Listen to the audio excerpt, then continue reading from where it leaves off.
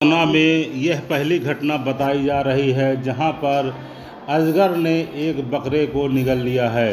लिहाजा इस मामले में अभी भी गाँव में अजगर मौजूद है। यह पूरी घटना रामनगर क्षेत्र की बताई जा रही है, जहाँ पर गाँव में दहशत फैला हुआ है।